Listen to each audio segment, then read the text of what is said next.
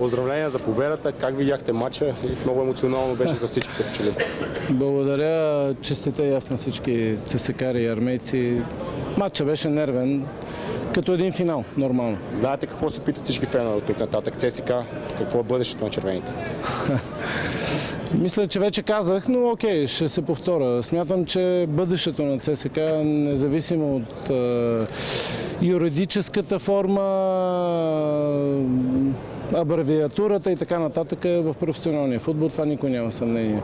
Стига вече спекулации, този мъртвец няма кой да го съживи, това е ясно. От тук нататък пътя за ЦСК е само нагоре. Нещо. Господин Георгиев, ще нещо повече за това ново дружество, за което се говори доста. Ами, вие сами вече сте видяли новото дружество.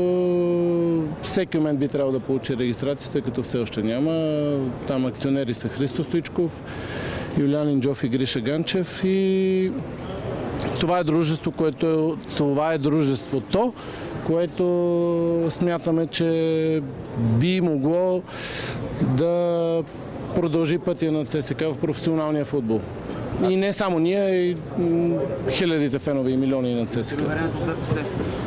Ами Борислав Михайлов сам на срещата с господин премьера ни предложи, каза какъв друг синоним да използвам, не знам, но самия той каза, след като смятате и след като е видно, че ПФК, ЦСК сегашното няма как да продължи да съществува юридически, то тогава направете всичко възможно и ние ще ви подкрепим да а, има ново дружество, което през една или друга юридическа форма, което за мен е без никакво значение, а, да, да продължи в професионалния футбол.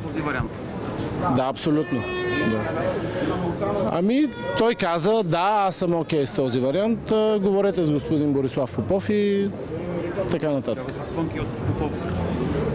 С Борислав Попов се видяхме този ден. Той каза, дайте ми 2-3 дни обеща до края на седмицата да се обади и да, да дискутираме под каква точно форма това дружество би продължило пътя на ЦСКА в професионалния футбол. В професионалния футбол, нека да сме точни. Какво ще стане с дълговете? Защото премиера каза, че данъчните следят а, до край. Да, и аз съм на същото мнение. Данъчните следят до край, но при положение, че това дружество очевидно няма намерение никой да плати тези дългове. Всичко останало са абсолютни спекулации, нека да сме наясно.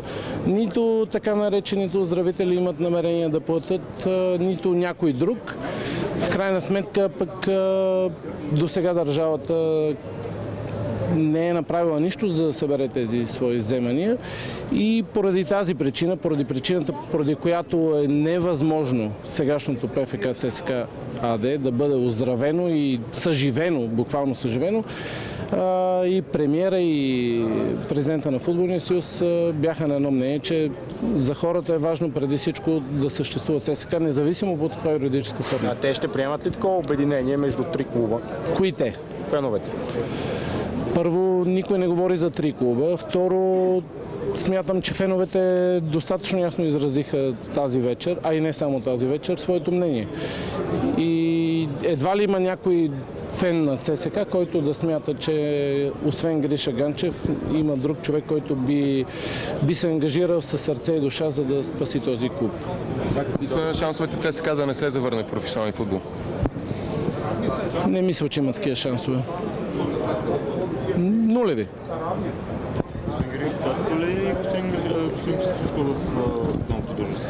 Вие явно сте закъснял, да, участва.